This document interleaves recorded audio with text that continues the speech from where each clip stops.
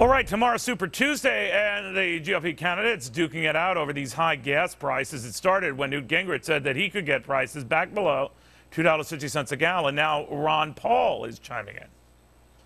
You know, we heard some of the other candidates say, if I can be president, I'm going to get gasoline down to $2 or $2.50 or down.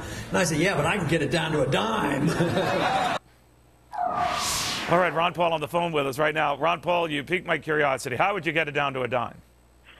All you have to do is uh, price the uh, gasoline in the uh, old silver money, the old dollar, before they gave up on a silver dollar. A silver dime, uh, you know, with uh, uh, its its actual value is over three dollars and maybe more depending on the day, you know, what the price of silver is on, on that particular day.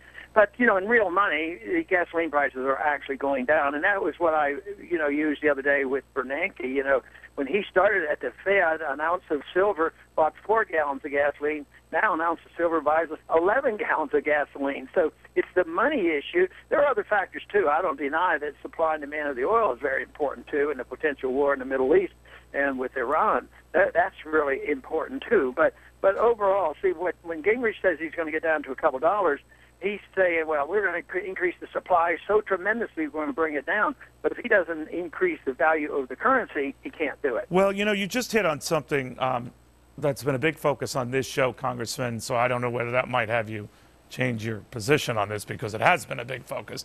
That the problem isn't escalating oil prices or gas prices. The problem is our weak dollar and the fact that oil being priced in dollars, uh, you need more dollars to, to buy that oil. Having said that, would you revert then to a currency, a gold standard type system where you, you peg the currency to something more solid? Is that what this is about? Um, yeah. Or what? Explain that. Yeah, no, that is what what it should be. And of course, I've argued that case for a long, long time. And uh, I think that what we should do in, in this country because they're not going to change over rather quickly. They're going to wait until it gets much worse. We ought to at least be able to uh, use a parallel currency. Internationally, you can, but internationally, they're still using the dollar predominantly. The people are drifting from the dollar. They're not using the dollar as a reserve as much as they used to. So, and, and there's always these rumors that go around. Well, you, you know, Iraq wanted to use uh, the euro, or they want to use gold, and and China wants to use something else, and that's a big deal because that would really play havoc with the dollar. If more and more people left the dollar as a reserve currency, our problems would be much worse. The price of, of fuel and oil is going to go up much higher in, in terms of, of dollars. So, uh, but no matter but, but, but that dollar thing, I, I, you're so smart. It's, you can leave me in your wake here. So if you don't mind, the, the problem with the dollar is probably indicative of the problem in Washington, right? The ability to control our finances, spending much more than we have, and right. we become sort of this global currency laughing stock. The only thing saving us, it would seem, is that there are greater laughing stocks out there. So by comparison, we look better. But then if, if Washington doesn't get its act together and get this spending under control, uh, uh doesn't this mean, regardless, assuming we don't change the, the what our peg right. is to the dollar, that, that oil, gas is going to get a lot more expensive and that inflation is going to be a lot more of a problem. Absolutely. I, I think that is the case, and that's what I've been warning about. The other thing people don't generally understand is, well, if the oil prices and, and gasoline's going up, other things are going down. You know, you you might have prices go down in, with your computers.